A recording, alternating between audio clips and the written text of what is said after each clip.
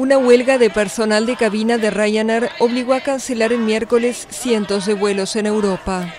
En total se han visto afectados 100.000 pasajeros que fueron recolocados en otros vuelos o pidieron un reembolso. La aerolínea, fundada hace 33 años en Dublín, ha crecido muy rápido y presume de costes por pasajero más bajos que los de sus competidores. Pero los empleados llevan años quejándose de sus condiciones laborales y en 2018 ya ha habido tres huelgas por ese motivo. En Irlanda, luego de tres días de huelga de pilotos, Ryanair anunció el miércoles que como consecuencia va a reducir en un 20% su flota de aviones en Dublín en los próximos meses. El anuncio podría provocar la pérdida de empleo para 100 pilotos y 200 tripulantes de cabina, según un comunicado de la empresa.